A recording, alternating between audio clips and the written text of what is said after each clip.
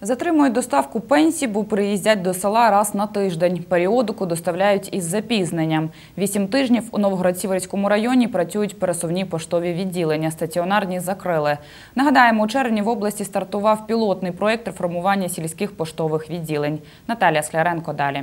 Щоп'ятниці о пів на десяту до будівлі колишньої Будовороб'ївської пошти в центр села сходяться люди. Раз на тиждень в село приїздить мобільна поштова бригада. Стаціонарне відділення зв'язку закрили на початку жовтня. Отримання календарів у вас подписка буде подати? Выписывают, уже на следующий год выписывают. Газет, в основном, ну, редко так, чтобы не хватало, в основном уже хватает.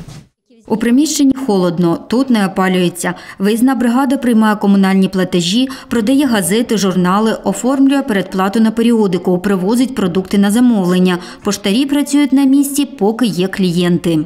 С магазина идут, заходят. А вообще мы сами развозим везде. Газеты будете? Развозим и разносим.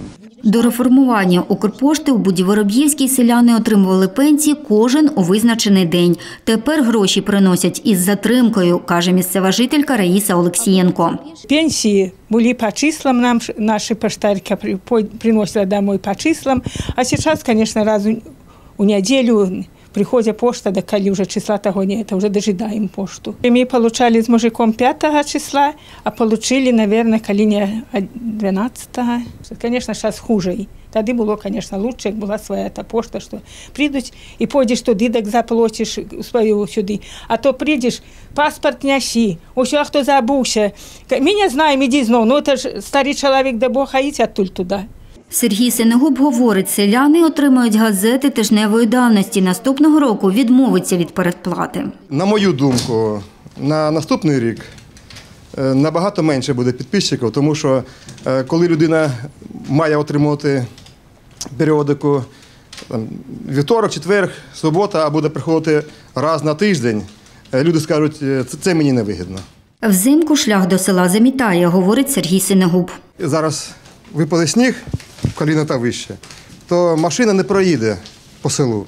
Дівчата носили, в них були свої коні, возили. У нас є хутір красний, 5 кілометрів. Машина не доїде. Пока доезжаем, нормально пока все. Будет зима, посмотрим. Наталія Скляренко, Євген Козинець. Новини на ЮА Чернігів.